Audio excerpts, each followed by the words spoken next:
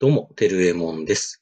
今日なんですけれども、インベンターっていうですね、3D CAD を久しぶりにですね、えー少し触っていきたいと思います。まあ、インベンターはですね、えーいつも私、Fusion 360の動画、YouTube にアップしてますが、えー Fusion 360と同じですね、オートデスク社が提供している 3D CAD になっています。こちらもですね、えー製造業機械系の 3D CAD なんですが、よりですね、えーコアな製造業といいますか、金型設計ですとか板金設計、えー配管設計とかですね、そういった、あコアなですね、機能が、あ専用のですね、機能がついておりまして、えーよりですね、機械設計者、あコアな、えー専門的なですね、機械の設計をですね、えーする企業さんが使っている 3D キャドになっています。まあ、ちょっと早速やっていきたいと思います。まあ、3D スケッチを開始からスケッチを書いていきます。まあ、この辺ですね、えー、フュージョンと同じような手順になるんですが、まあ、平面のこの表示がちょっと違いますね。だけど、平面スケッチを書くというのは同じですね。こちら。クリックして、スケッチを書いていきます。まあ、そしてスケッチメニューに切り替わるのは同じですね。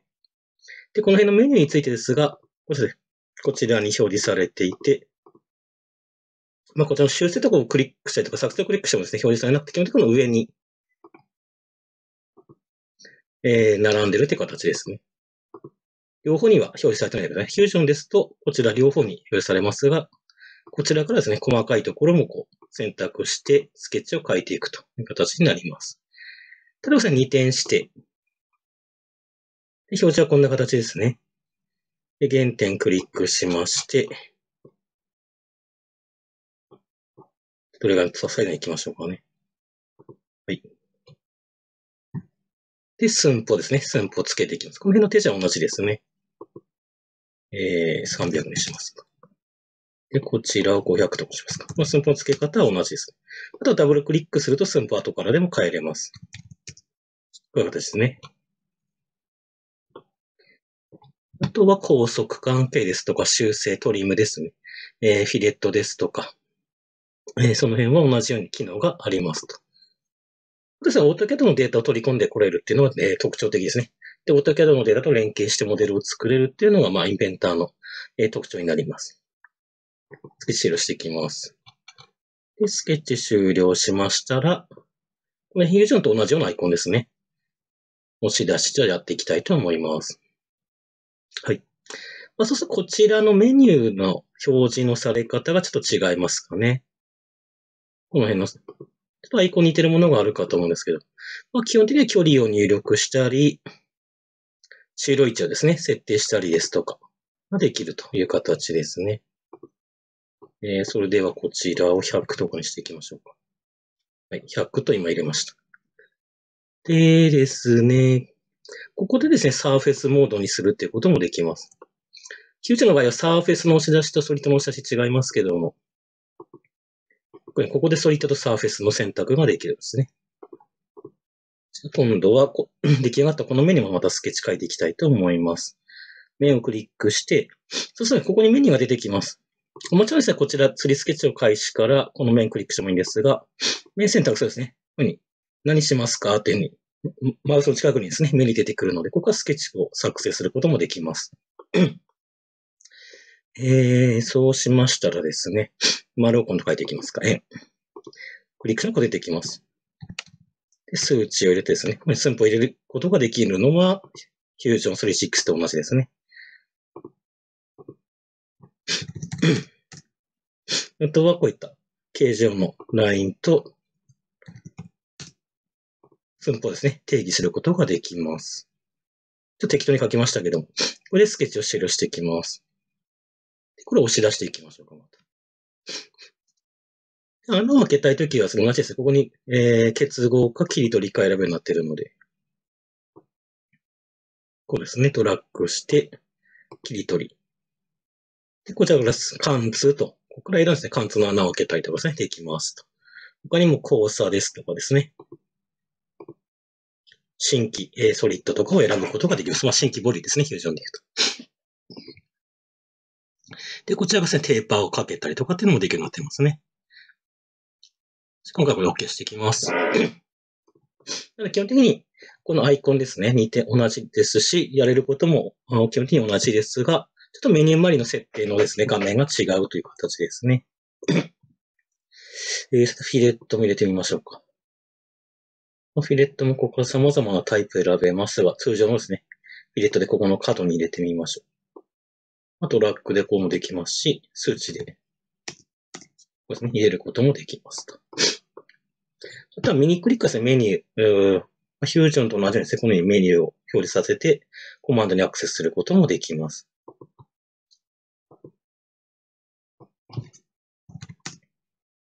こうですね。寸法入れて、えー、フィレットですね、今入れました。はい。まあ、この面取りもありますしね。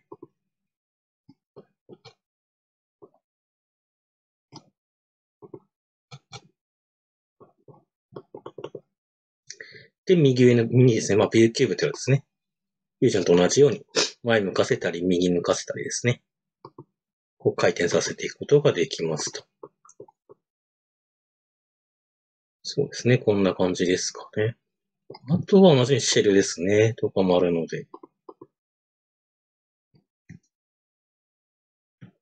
そうですね。シェルで、一のつめりくり抜いたりですとか。えー、そんな機能はありますと。他にもですね、まあ、回転水プロフトとかですね。えー、勾配ですとか、あフュージョンと同じような機能がある程度こう、ある程度というか、まあ、フュージョンと同じような機能もえー、搭載されてるんですね。で、フュージョンにですね、こちらボックスってこちらになってます。フリーホーム作成でホームですね、の機能もあります。ちょっとやってみますか。ちょっと新規でいきましょうか。新規ファイルで。例えば、ボックスからいきますか。この辺は、そうですね。フュージョンでもここに最初ベース形状を作るかと思うんですけど、まあ、それここで面の数を変えたりですとか、大きさですね、設定したり、まあ、対象関係つけたりとかですかができると。はい。で、ここはホーム編集で、面選択肢ですね。ドラッグして。で、オルトキーを押しながら形状を追加したりとかですね。できるという形ですね。まあ、面を動かしたり、線ですね。線を動かしたり。まあ、点ですね。点を動かしたりとかですね。で、この辺のメニュー周りも、ちょっと違いますけれども、同じような設定をしてですね、同じような設定をしながら、え、のホーム編集ができますね。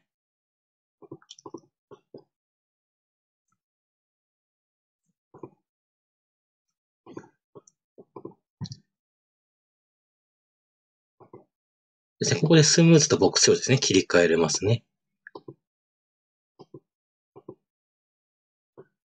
あとは修正機能はこのエッジ挿入したりですとか、分割とかですね。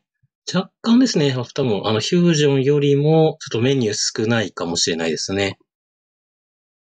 あとは形状ですね。あの、押し出しとか回転がなくて、ボックスとか、えー、Q とかから、えー、作っていくような形に、えー、インベの場合はなるという形ですね。じゃあ、フリーホーム終了していきます。今、これホームですが、フリーホーム終了しますと。これですね。えー、フュージョンと一緒でソリッドとかサーフェスボディにですね、変換されます。ですね。こちらホーム出来上がって、これダブルクリックですね。で、また編集できると。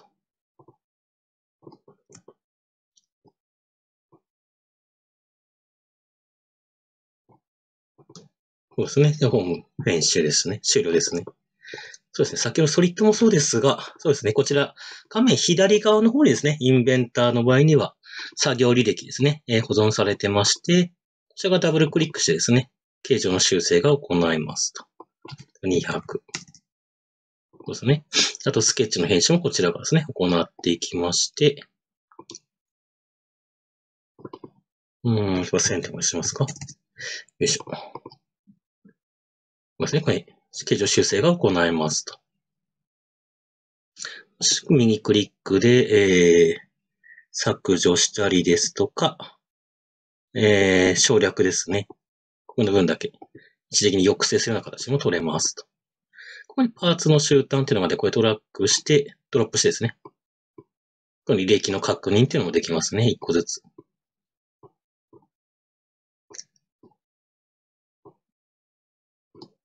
ですね。はい。まあ大抵なので、フュージョンでできることは、えー、まあ今日できるということですね。まあ、フュージョンよりもより機械、繰り返しますが、より機械系、専門的な、えー、企業さんがですね、えー、使っている、えー、3K になります。まあ、フュージョンにですね、少し高いと言いますか。えー、フュージョン今7万ぐらいなんですけど、まあ、インベンター使おうとすると今年間ですね、30万ちょっとぐらいですかね。えー、インベンターですね、36万7千とかですね。あとはセットでコレクションで買うっていうのもありですが。なので、ちょっとまあ、フュージョンよりも、あお高いですね、3 k になっております。そうですね。あと特徴的なところとしては 3D 寸法入れたりとかですね。えー、できますね。あと、検査はフュージョンに似ているような形ですかね。はい。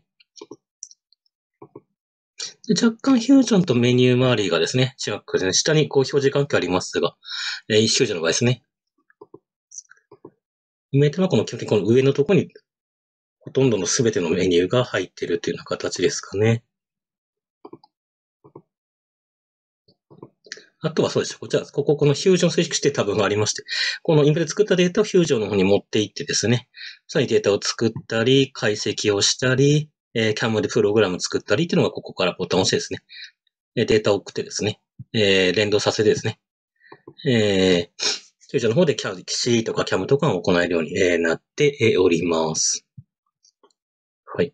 あと、先ほど押し出しとか回転のところですね、スケッチ回で押したときにサーフェス、えー、選択できましたが、その他にもこのサーフェス特有の機能はこちらのところにサーフェスっていうのが、えー、ありまして、まあ、面を貼ったりですとか、面を縫い合わせたりですとかっていう機能が、まあ、フュージョンとようにですね、ついてますと。とですね、こちら、インベントにも構造解析はできますし、あとシートメーターですね、板金に変換って機能などもあります。もうちょっと何かじゃ回転とかも形状作ってみますか。あもちろん二次元の図面とかもですね、えー、できますし、まあ、にその二次元の図面なんかはですね、フュージョンよりもですね、機能が、えー、豊富という形ですかね。ちょっと今さ、回転させる形状をちょっと書いてます。寸法をつけますか、一応ね。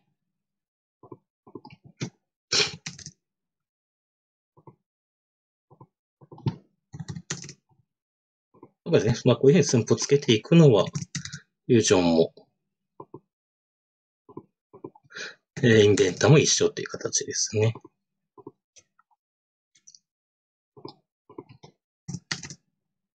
はい。じゃあこれを回転させてみます。よいしょ。これがですね。はい。で、マーナーコマンドもちょっとやってみますか。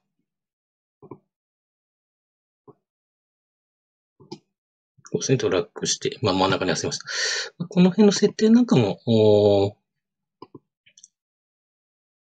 フュージョンとはちょっと違いますが、ここに感覚的にここから設定してあげることができますんで、ネジ穴とかですね、開けるようになってます。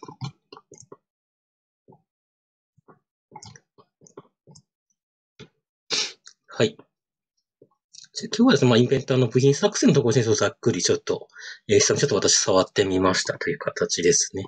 非常にフュージョンと使い方似てますね。同じオトデスク製品ですので、まあ、アイコンとこなんかも一緒ですしね。はい。